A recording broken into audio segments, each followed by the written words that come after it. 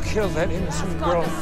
I know you killed her. What does it feel like to get away with murder? I hope you die scared and helpless in the dirt. I want you coming around here. Make sure you get punished for everything you did to her. I lost my heart, life lost all meaning. What I would give to see you again. No one is born evil. But sometimes, when you go through hell,